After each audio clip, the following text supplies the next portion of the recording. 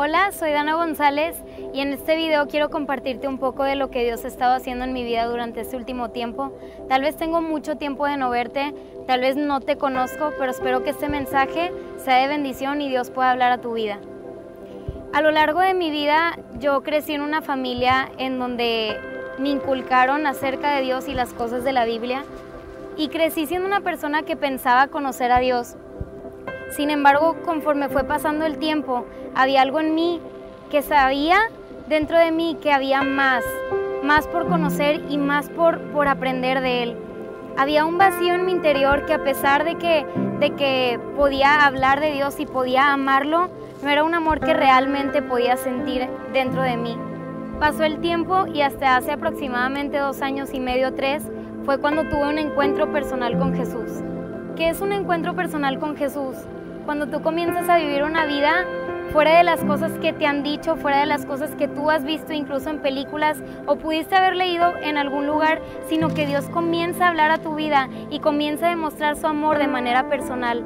Tanto que le da un giro a tu vida que nunca vuelve a ser la misma. Esto cuesta algunas cosas, aún que, que cambien actitudes en ti, que cambien maneras de vivir, que cambien tus convicciones. Y eso fue lo que cambió conmigo, pero todo fue para bien. Y hoy en día puedo decir que no me arrepiento de nada y lo volvería a hacer con tal de obtener lo que he obtenido en Él, porque Él fue mi mayor recompensa. Yo sabía que cuando le entregué mi vida completa a Jesús, estaba tomando la mejor decisión que yo podía tomar. Trabajó en, béisbol y jugamos en los domingos y no había tiempo para ir a misa. Cada vez que me he cambiado de casa, que me he mudado, no estoy en la misma parroquia, entonces decido que es más fácil no ir. Había un tiempo cuando pensaba que yo no puedo hacer todo solamente y necesitaba ah, regresar a misa. Cuando tuvimos hijos, me casé, tuve hijos, decidí que es muy importante tener esa base para la familia y para tener eso pues para los hijos. Con mi trabajo, con mi familia, mi esposa, mis hijos, todo tengo más, más amor, eh, mi vida es más, más completo. Nuestra Virgen de Guadalupe nos está llamando a nosotros en particularmente como hispanos que regresemos como una familia a la casa de nuestro Señor Jesucristo y que lo honremos y estemos aquí con Él. Vengan a casa, visiten católicosregresen.org.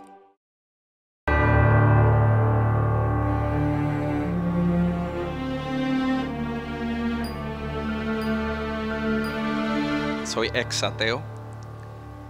Eh, yo no creía en Dios, a pesar de que nací, crecí en un hogar muy religioso. Creo que influyó mucho en mi vida.